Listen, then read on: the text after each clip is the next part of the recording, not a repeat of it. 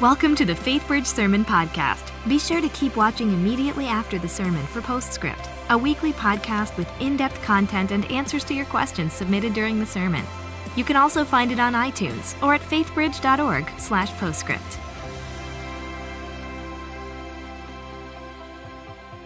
Well, good morning. Welcome to Faith Bridge. We are so glad that you are with us today, whether you're at the Klein campus or if you are up at the Woodlands or if you're coming to us online. We're glad that you've chosen to worship at Faith Bridge today. We're continuing on in our sermon series that we are calling Overcome, and we're also continuing our journey through the book of 1 Peter. We're going to be today in 1 Peter chapter 5. If you have your Bible, please go ahead and open and turn there. If you need a Bible, just raise your hand. Our ushers are coming down the aisle. They'll be glad to give you one.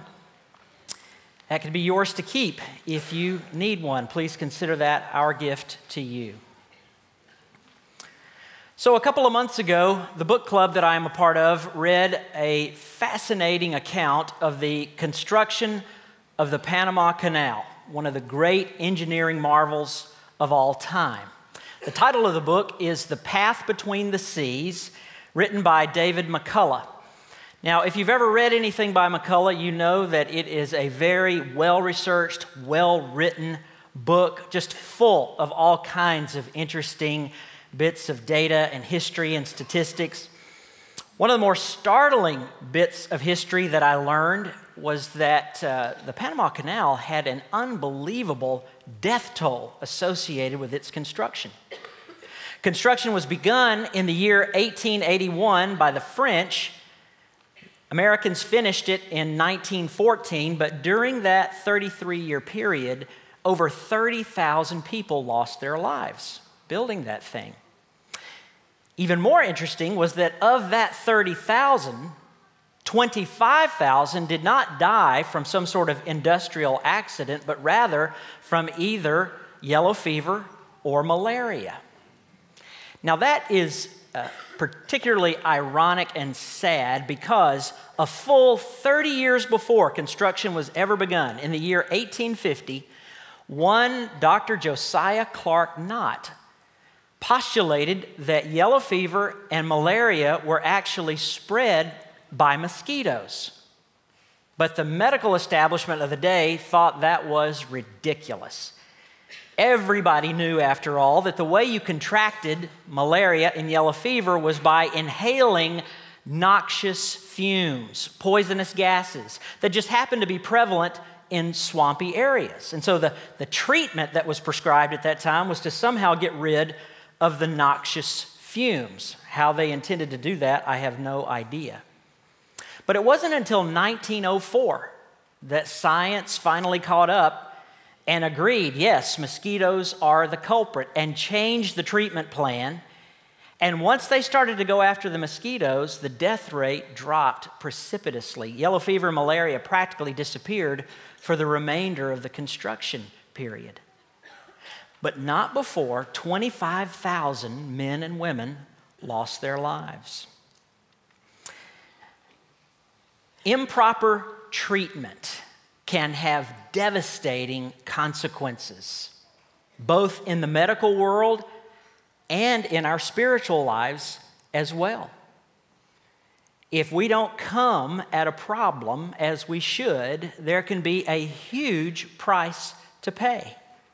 Now, Christ followers regularly deal with all sorts of issues and challenges, difficulties and struggles. That's what this whole sermon series has been about overcome.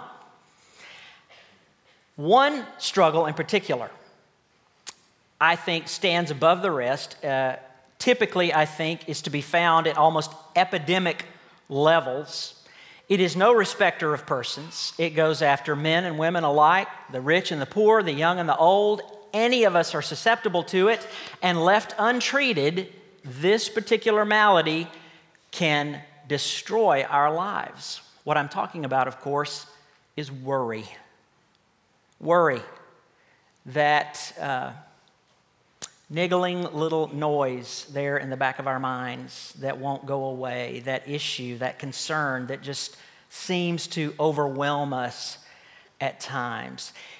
Like a disease, it can attach itself to our souls and literally just draw the life right out of us, taking away things that make life worth living, things like peace, confidence, joy, hope, the ability to enjoy the present, to anticipate the future, to enjoy life in general. Worry can take all of that away. And I have to think that in a crowd this size, in all of our locations, whether you're here at Klein or in the woodlands or online, I'm inclined to think that probably many, many of us came to church today carrying some kind of worry. And for some of us, maybe a lot of us, it's a worry that is big enough that it has prevented us from really engaging with God this morning.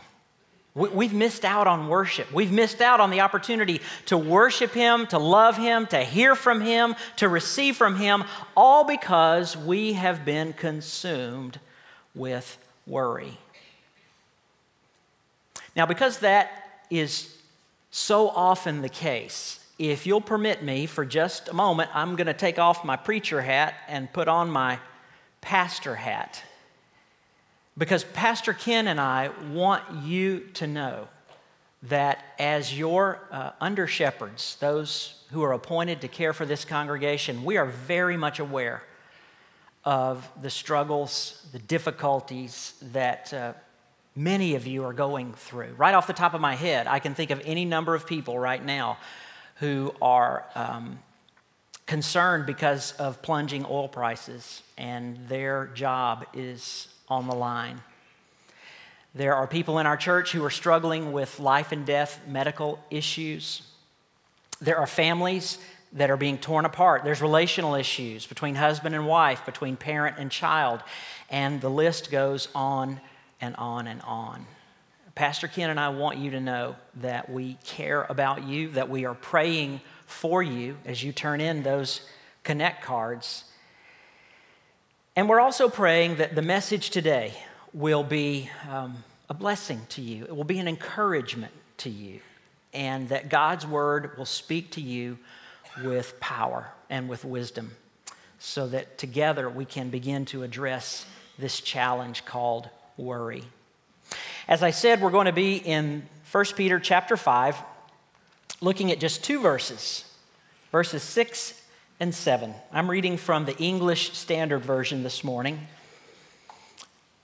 Humble yourselves, therefore, under the mighty hand of God, so that at the proper time he may exalt you, casting all your anxieties on him because he cares for you.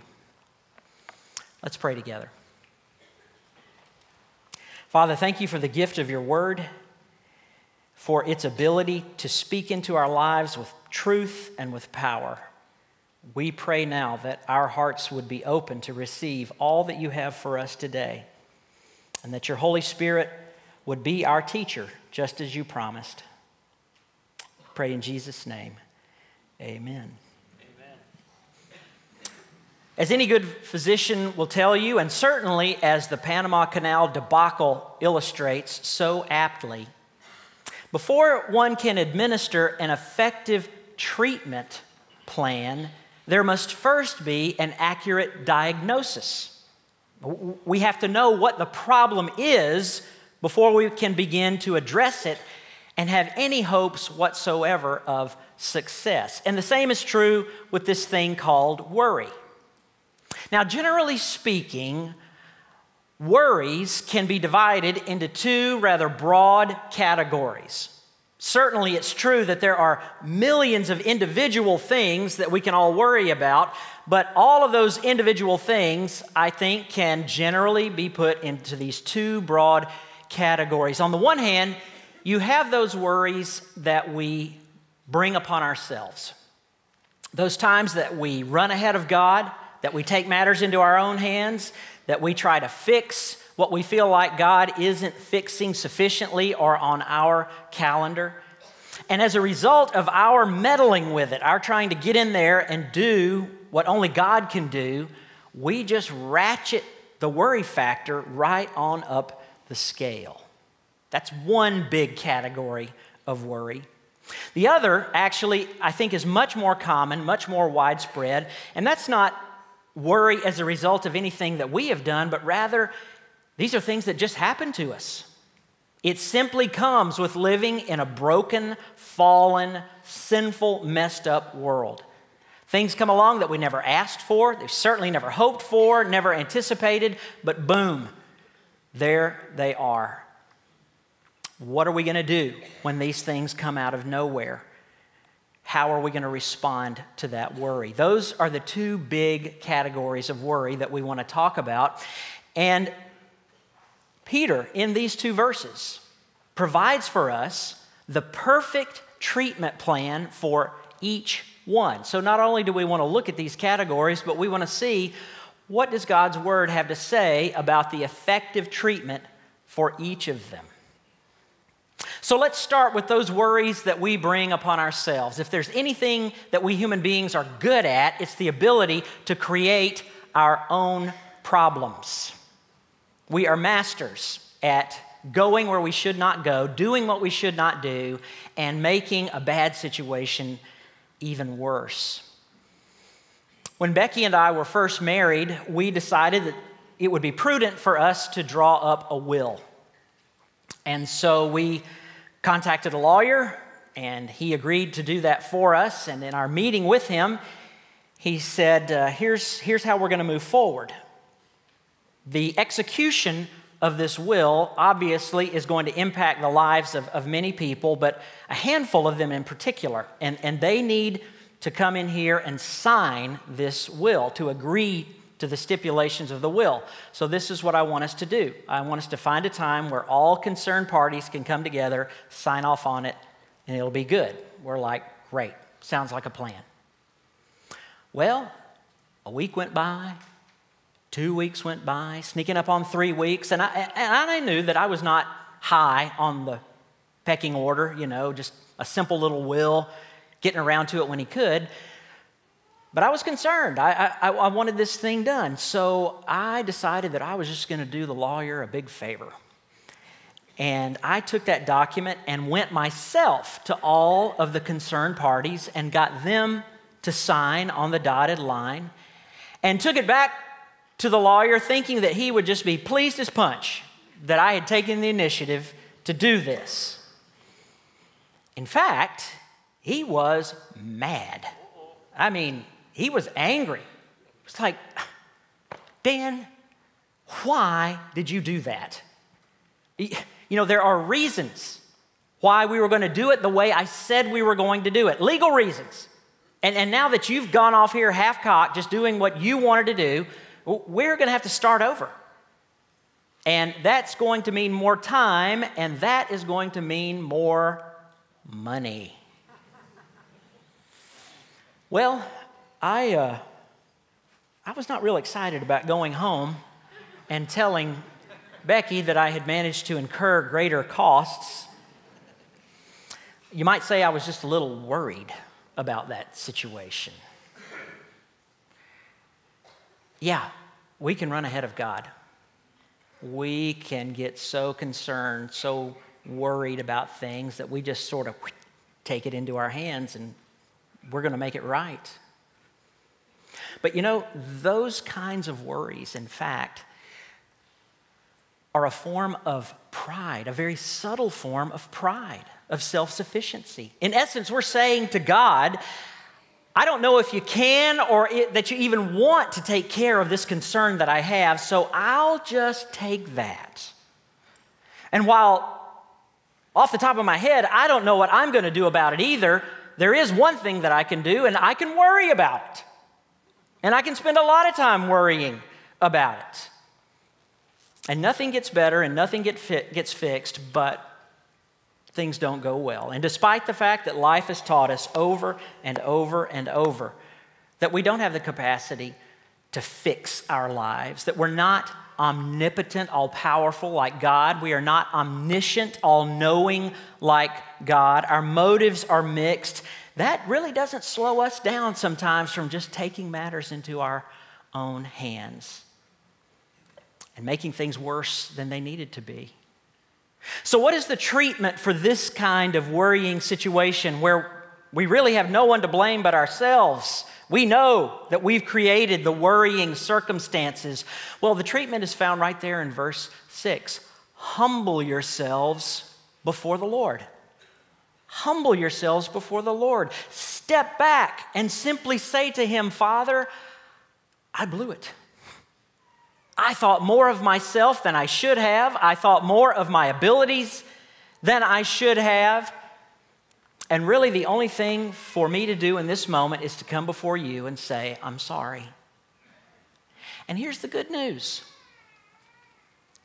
God is not a lawyer, there won't be an extra bill. God is going to be glad to receive us back. God is going to be thrilled that we've decided to get back on His schedule so that at the proper time, He can do what only He can do. And we can receive His blessings, we can receive His wisdom. Best of all, we can put those worries to bed because we are no longer involved. How about you? Is the worry that's uh, with you today in church a, a worry of your own making? Well, if it is, there's good news. Humble yourself. Be, just be willing to say, you know what? I messed up, Lord. And the forgiveness will be there, and the restoration will be there, and best of all, God Himself will be there to step in and do what only God can do. So, one big area of worry that we have are those situations that we create. But as I said earlier, the much bigger and the much more common source of worry are those things that we really had nothing to do with. We didn't want, we didn't ask for, but bam, there they are. The tests come back from the lab, and the news is not good the economy takes a nosedive, and suddenly we find ourselves wondering about our ability to provide for our family. Our children are making choices that will have some difficult consequences. Our parents are getting older and their needs are increasing, and we love them and we care about them, but we've got our own family to care for as well how are we going to make it? And on and on the list goes. Life has a way of coming at us like that. What are we going to do? Well, the treatment for this kind of worry is found in verse 7, and that is to cast your cares, your anxieties upon the Lord. Literally, to throw them at Him. Why? Because He cares for you. It's not just that He can do something about them, it's that He wants you to throw them His way because He loves you. He cares about you. He's concerned with your life and with your circumstances. And so it is with confidence that we can cast our cares upon God. The promise, the hope is right there in black and white. And yet, for some strange reason, you and I are so reluctant to do that. There is this bizarre, twisted security that we have in holding on to these things. I mean, if we let go of it, who knows what's going to happen? At least as long as we've got it, I'm holding on to it and I know where it is. Why is it that we're afraid? You know, we entrust our bodies to human physicians, we entrust our children to teachers for their education. We entrust our cars and our computers and other possessions to, to people whose names we don't even know to repair them and look after them. But when it comes to the deepest concerns of our lives, we are scared to death to entrust them to our loving Heavenly Father. Why? When I was in high school, I worked for my older brother. He was the superintendent of a steel fabrication shop, and uh, my job was basically the shop gopher, errand boy, janitor, just whatever kind of needed to be done. And one of my responsibilities was to uh, patrol the shop floor. It was about the size of a basketball court and pick up the trash and the debris that accumulated throughout the day.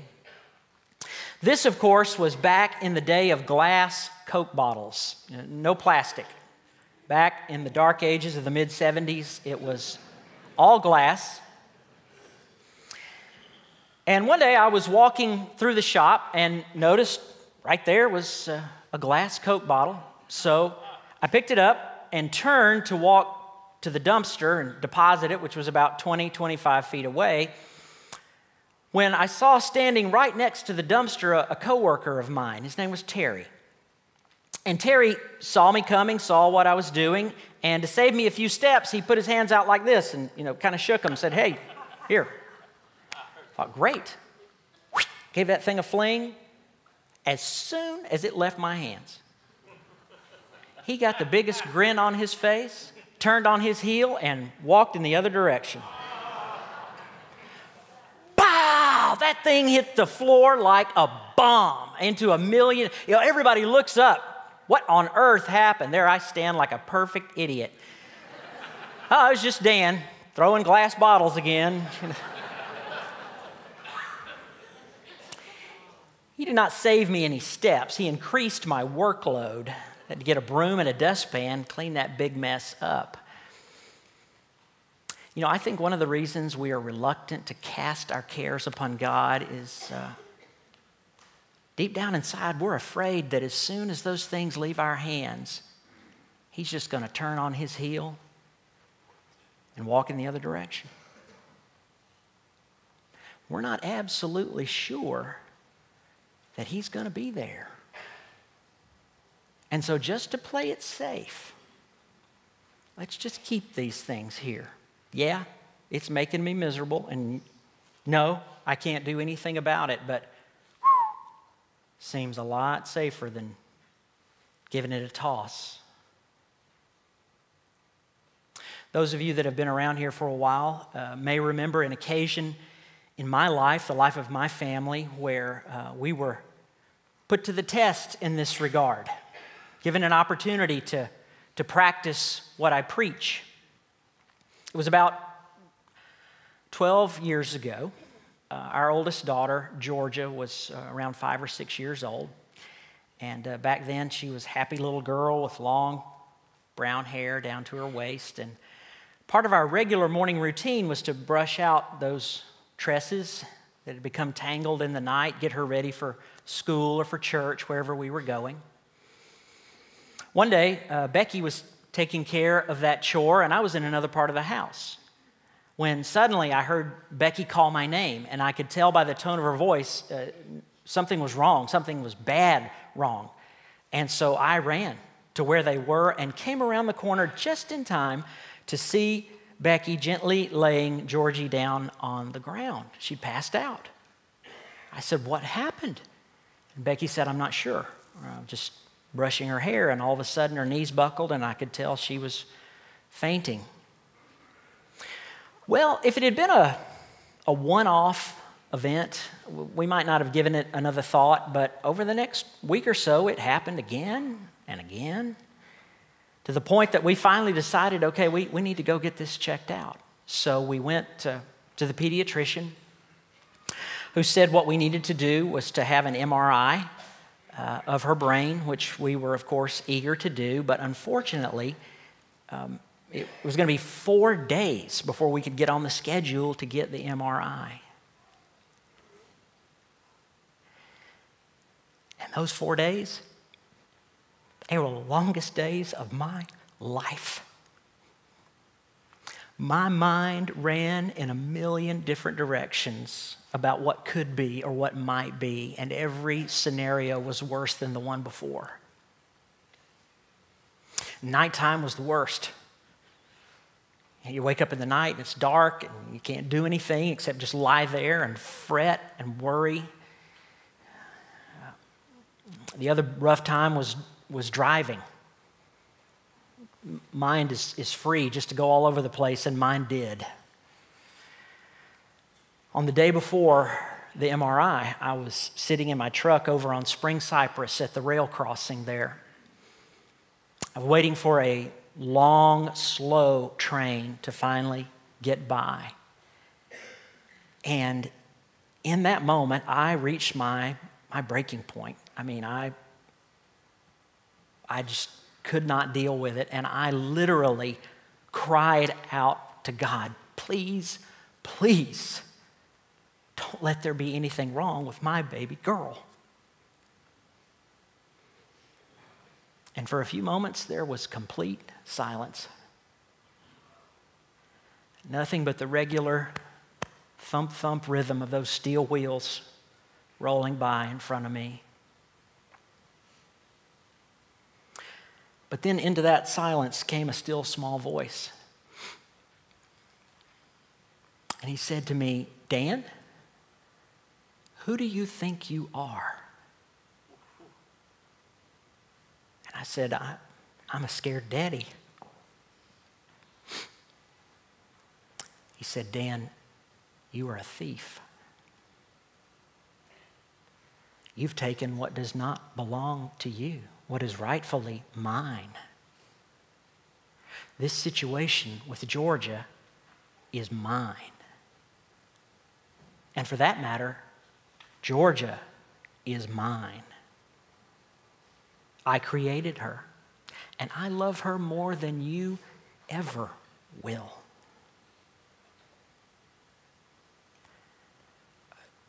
To say that I was humbled in that moment would be incredible understatement. I was humiliated, I was embarrassed. Because you see, in a flash, I realized I did not want to cast my Georgie upon the Lord because I was just sure he was going to walk away and she was going to fall in a million pieces on the floor. One of the most freeing things I have ever done was to pull into the gas station right there near the crossing and to repent of my lack of faith, my lack of trust, and then literally with my hands to take them off of the steering wheel and in prayer, literally cast Georgie upon the Lord. And I was able to do it because he was reminding me, you can cast your cares my way because I care for you. I had been blinded by my lack of trust and my lack of faith, but in the moment I handed her over a flood of memories came to me of the hundreds of ways in the past that he had proven himself to be true. Well, we went on the next day and had the MRI, and thanks be to God, everything was okay. There was nothing for us to worry about. And we actually learned something in the process. The, uh, the neurologist was talking to us, and he said, By the way, uh, just perchance, did you just happen to be brushing her hair when these fainting spells happen? Yes, we were.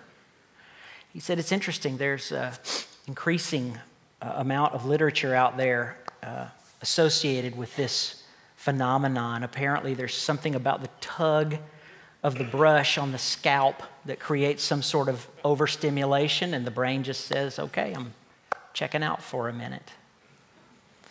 Brushing your hair can make you faint. Who knew?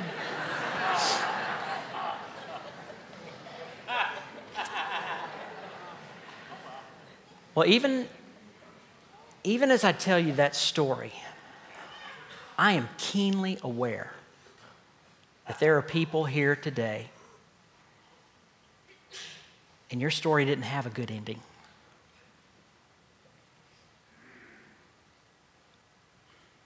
You've suffered. Some of you have lost loved ones even after you thought you had cast them their way. Does that mean that God does not care for you? No, it does not mean that. As Christ followers, we believe that God is working all things together for good. He is redeeming this broken world.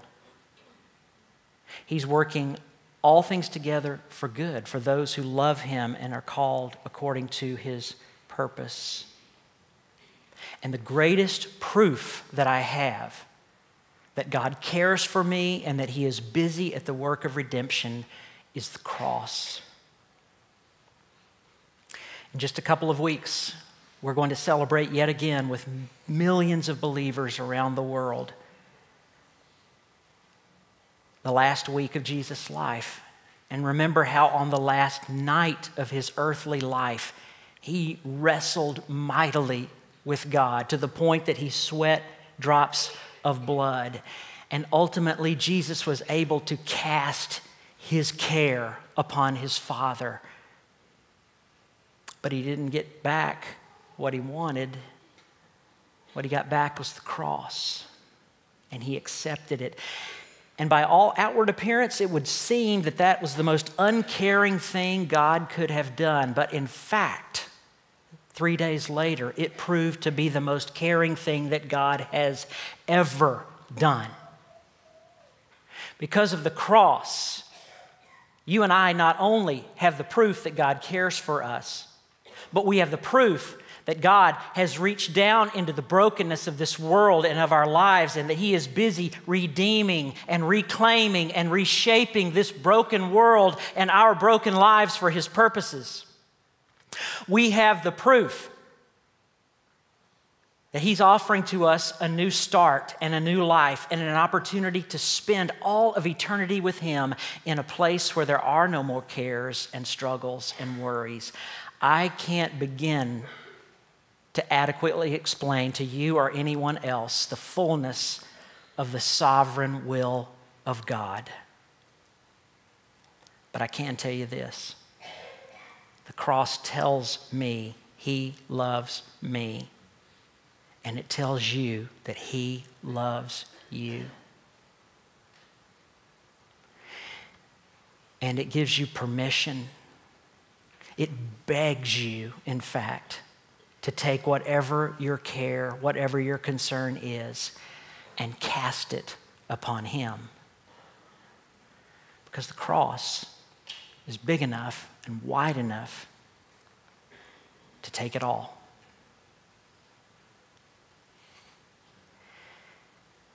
Just a moment, I'm going to pray for us. And when I finish praying, the band will come out and, and begin to play. I want you then to know that the altar area is open. And this is a day when you can bring whatever it is you brought with you and leave it here with Him. Don't walk back out into the world lugging what you never were meant to lug around. God's waiting for you here. Desperate, really to take from you what is rightfully His. So please, take advantage of this time, just these few minutes you have out of your day, to come be with Him and give to Him what is rightfully His. Will you pray with me?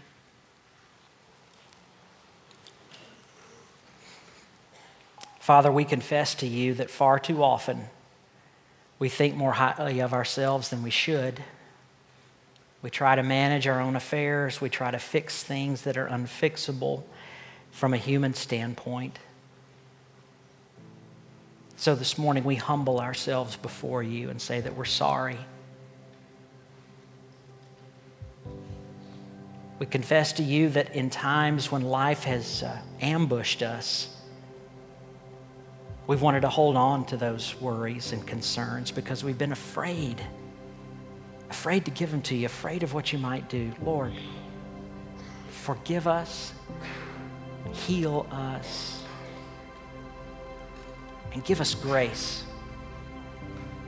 to hand these things over to you, to literally, God, cast them in your direction, knowing beyond a shadow of a doubt that the cross proves you care we offer our prayer in the strong name of Jesus. Amen. Welcome to Postscript. Here we hope to answer your questions and help you dig deeper into the messages and sermons at FaithBridge by talking with the teacher of the day.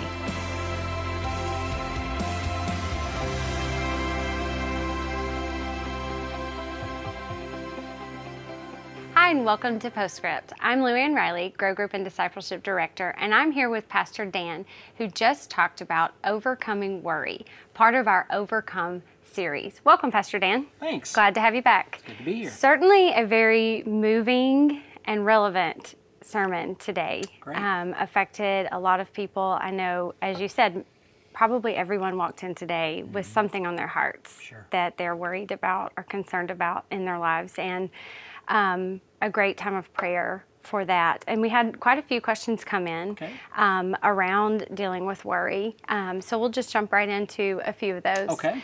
Um, what are some practical ways? Um, we talked about um, the heart behind casting our cares upon God and really trusting Him with those things. Um, but what are ways that we can keep from taking those things back? What are practical things to do when we feel ourselves beginning to worry? Sure. Well, um, I think the first thing that I would say is don't be concerned that you have taken it back because inevitably you will. Everybody. Unless it is just the most minor of issues, most people do a sort of a give and take with God, and, and, and that's okay as long as you're still giving it back to Him. But uh, along the lines of practicality, these are the things that I have found helpful. Uh, quiet time. And by that, I don't necessarily mean a devotional, but simply a time away from all input, you know, phones, TV, kids, whatever, to clearly think through what it is you're dealing with and perhaps even write it down.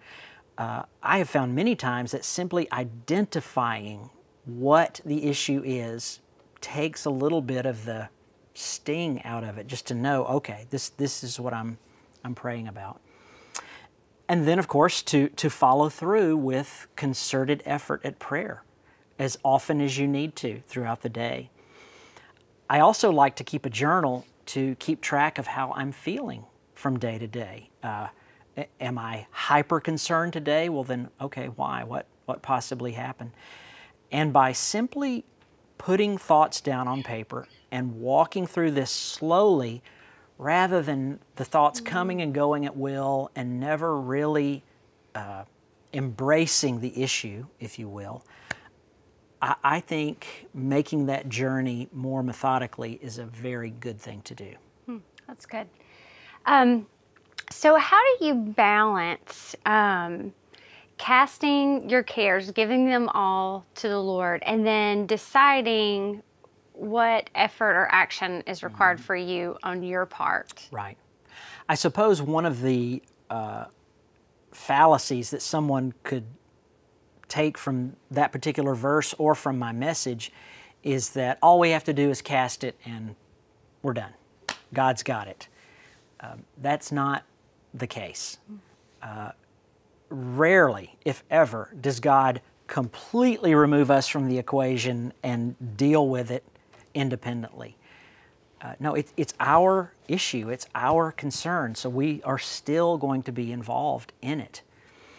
Um, I think first you have to consciously think about how, okay, I'm not going to own this. It's with me, but it is not mine. And if you have to go through the physical motion like I did in my pickup truck, great. But then after that, uh, these are the things that you can ask God for in the midst.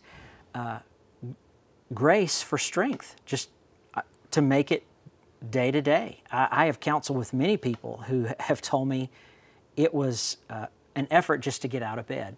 So, grace for strength to deal with it, wisdom to know how to deal with it in a godly manner. Pray for the mind of Christ so that you know the decisions I'm making, the actions that I'm taking are uh, in keeping with what He would have me do, in keeping with God's Word.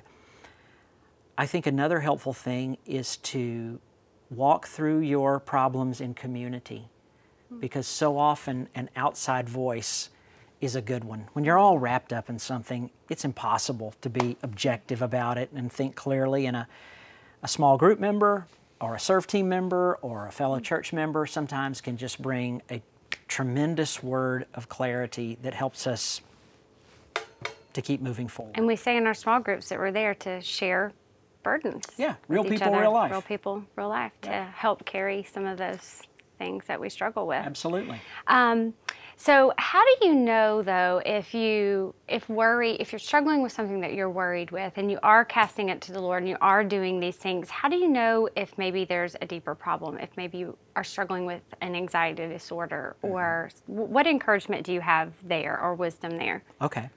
Well, I, I think one way to discern between what you might call normal worry and an anxiety disorder would have to do with the frequency of the worry and the uh, uh, breadth of the worry. For example, if an individual finds out that they have a serious disease and they are intensely worried about it, well, that's no cause for concern that there might be an anxiety disorder. That, that's pretty typical, pretty normal. On the other hand, if someone wakes up and finds out that they're worried about going to work that day, and then when they get in their car, they're worried about the drive, and then when they get to work, they're worried about whether or not this bill is paid, and, just all throughout the day, it's item after item after item after item. Uh, that's probably a pretty good sign that there's something else going on here. Another thing to consider is is the worry becoming debilitating? Are, are you unable to function? Has it rendered you uh, unable to do your job, to interact with your family, to meet your basic responsibilities? If you suspect a disorder is a part of the situation, then go to your doctor, uh, go to a counselor, go talk to someone who's had some training in these matters who can look at it more objectively, more carefully than you can, and, and get their input. That's good. That's good. Um, I know you talked today about um, just the prayer that we offer here, and I know we do the healing prayers now, and just Mm-hmm. Every week. encouraging Yeah. people to come and seek prayer for the things that they're going through, Sure. and certainly appreciate the pastor hat this, that you were putting on today, and just reminding everyone that they're not alone in the things that they're going through. Yeah, they don't have to be, that's for sure. That's true. Well, thank you so much for your message today. You bet. Um, and thank you for being here on Postscript. And thank you for joining us here for Postscript. We'll see you back here next week. Thanks for joining us for Postscript. Help us keep the podcast interactive by submitting your questions during the morning services. Learn more at faithbridge.org/postscript.